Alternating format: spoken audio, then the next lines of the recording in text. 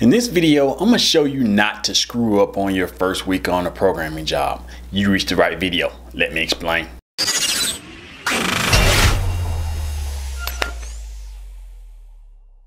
This video was brought to you by DigiLink Academy, your number one source to learn programming fast and get to that six-figure salary you desire. Our academy have a wide range of courses, including our 30-day developer launchpad, our programmer interview course, also our mentorship program, and much, much more. When you sign up for our free community, you get access to like-minded professional developers who want to take your career to the next level and will provide you with access to all the resources that our academy can provide. So let's take the next step and sign up for our seven-step free programming guide to really start to take your career to the next level. So let's click the link below to get started.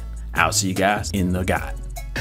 All right, guys, I want to give you some details on your first week of programming. A lot of you guys trying to get ready to start uh, learning how to program and you're getting your first job. And you just want to have a better understanding of what to expect your first week, or you just want don't want to screw up and cause people to, or cause you to lose your job, and now you're back at square one. I'll give you some reasons, um, well, some things you can do to really make this process, this experience, a whole lot better for you, and to really put yourself in a position. I made some notes here so everything will go good, and then we can kind of go from there. So, guys, let me tell you a story first of all when I first start programming, I used to come in and just think, hey, I can solve every project. I can solve every project. I'm gonna be that person y'all need to be successful. Needy, needy, needy, needy, needy, needy.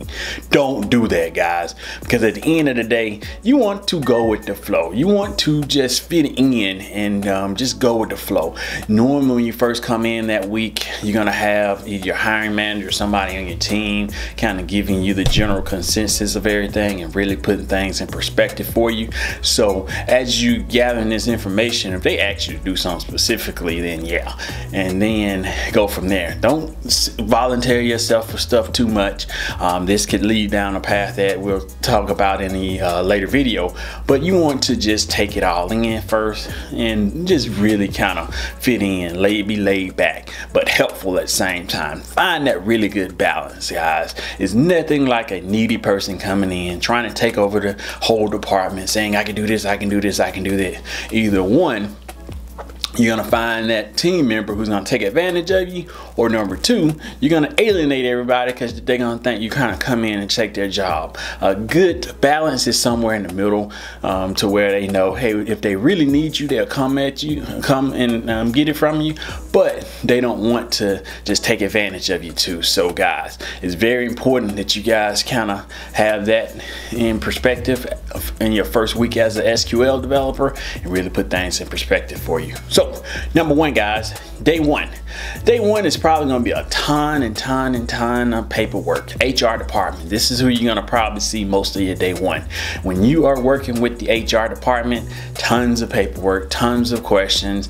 Some people do questionnaires, some people do um, your um, health stuff as far as just social security numbers, all that. So that day one, bring your social security cards and identifying information. You should have your driver's license, your birth certificate, any uh, uh, records that you have that you think you may need, social security card, birth certificate, um, even your spouse information so that you can already have that stuff on site. Most of the time they get you to bring it home and you can fill it out at the house, but you know, just have the information on you that day just so that they at least they can get their copies and all that stuff and you'll be good to go. And another side of probably the second half of day one introduction to your coworkers. Um, you're gonna be around these people hopefully for the long term and you know you're gonna be in the restroom or the um, break room and they're gonna see a new person around. You're gonna be doing, getting some introductions um, people from your department people from other departments. So this is mostly what you're gonna be getting into your day one. If you're working for a good company they just do a general introduction with everybody. They just take you around now. And whoever's there hey this is Rod he's our new developer. He's gonna be helping you guys out. Hey hey hey. You're not gonna remember half of their names which is okay. You know just put a put a face um, with a name so that if you guys see them or uh, they see you in a break room they don't they don't know you're a complete stranger. They know you're the new guy. So that's probably what you're gonna be doing day one So let's fast forward to day two, guys. Day two is actually where you're gonna start getting into somewhat of some computer coding stuff. You're gonna actually get limited access to the system and also discover your team workflow. So just say for example, you're gonna get access to um, ticketing system. They're gonna have your AD account, email accounts, um, give you access to the test environment, things like that. So you can start to really figure out which tools they use and kind of get a chance to at least generally look around and kind of assess with everything they have that you can work with. Workflow is critical, guys, especially with your team. And um, I'll get into this in a later point, but it's, it's good to have that general understanding of what tools you have to work with and really kind of put things in perspective for you. So kind of be aware of that. Day two is, I would suggest you in day two, just to kind of, is, is more of a discovery day. And you're gonna over, you're gonna be looking over somebody's shoulder probably, especially if you're a junior developer. Um, even if you're a senior developer, you're probably gonna be working with somebody there to say, they're gonna be, you're gonna be over looking over their shoulder saying, do this, do this, do this. Hey, could you do this little part of it? And then kind of work from there. So you're gonna be primarily working with somebody else. I talk about this in my seven step guide. So go ahead and pick this up, guys. Um, when you start to get into the real world situations and other characteristics um, of a developer, it's important that you guys know this because you have proven that you know how you've learned a level code that they're comfortable with. Um, you got through the job prep, and now um, since you got to um, start to advance your career, other characteristics gonna come into play. We talk about that in my seven-step guide, so get that. And if you haven't already, if you already have signed up for my seven-step guide, check out the premium courses, guys. I got a 30-day Launchpad course that's gonna help you take your career to the next level. So Day three, we're sitting in here, we, well, we're coming in. Uh, day three is actually going to be the day that they let you kind of have a little bit of independence. This is the day that um, you're two days in, they got a chance, the introductions, you met probably most of your actual IT team members. Now it's time to actually get into the ticketing system. This is where, the, if they have a good ticketing system, this is where you can kind of get a general idea of what's coming in as far as just requests. And then you can kind of mentally know, hey, I need need to learn more about this or I need to learn less about this and kind of have a general idea of the uh, of the actual flow. This is also where you can start looking at the project management system. Hey, what tasks they have out there? What are they doing? Uh, what type of projects they're currently working on? What have they worked on in the past? You should have access to search current projects, past projects and sometimes they do future projects. It depends on the company but you know future projects you're not going to have a ton of information out there but you should have a general idea of what's coming at least on a project basis as far as just tasks guys. So this is very critical this day because this is the day where you start to split the high value developers and the low value developers. Because low value developers are just going to sit there and just get their current tickets and wait on somebody feeding them um, work. And then they kind of go from there. High value developers going to assess the situation going to really figure out okay they get x amount of tickets i think i'll be working on this but we'll see.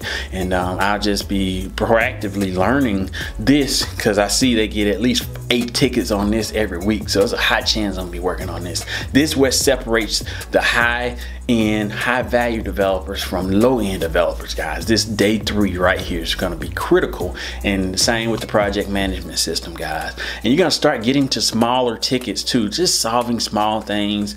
Maybe, hey, I need, I need uh, this uh, column added to a report.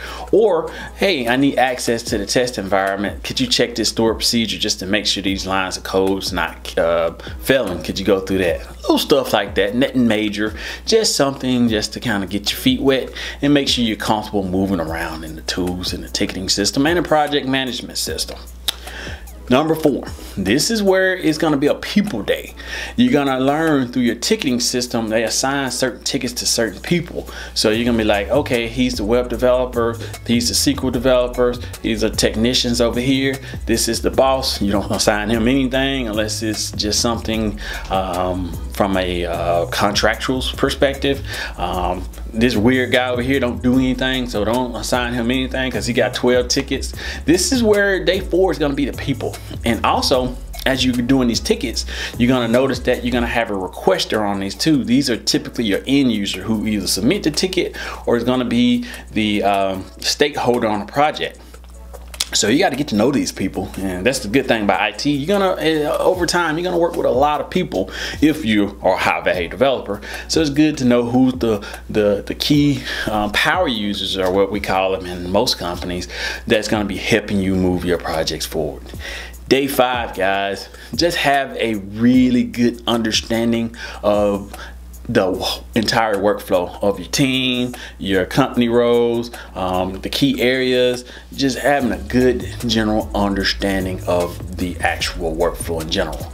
I think that's a good successful week one for somebody. So week two come in, it's no, hey, let me learn how to get into the system. Let me, it's gonna be more specific as you go, as you work on specific projects and specific tickets. And over time, you're not gonna learn everything about everybody, but you have should have a general understanding. Let me start here first and then go from there. Or let me start there. You shouldn't be in the dark at this point. You should be able to identify where you need to go and all that good stuff, guys. So at the end of the day, guys, don't try too hard. Don't be that person who come in and, and just trying, well, first of all, don't don't operate in the extremes. Don't be the lazy person who don't want to do shit. But you want to do the you want to be the person who uh, you don't want to be the person who come in and just let me help, let me help, let me help. You don't want to be on the ex extreme. So that's what I mean by that. Find a good middle ground. Uh, be laid back. The work's gonna come to you through the ticketing system or through somebody just needs some general help. So like, subscribe to the content. If you guys agree with me, comment below. If you disagree with me, comment below. Let's let's start a conversation. If you haven't already, go check out my premium courses, that 30-day Launchpad course, guys. Go get that. Take your career to the next level. And I'll put a link right here for my seven-step free guide if you haven't got that already. I'll see you guys in the courses. Peace.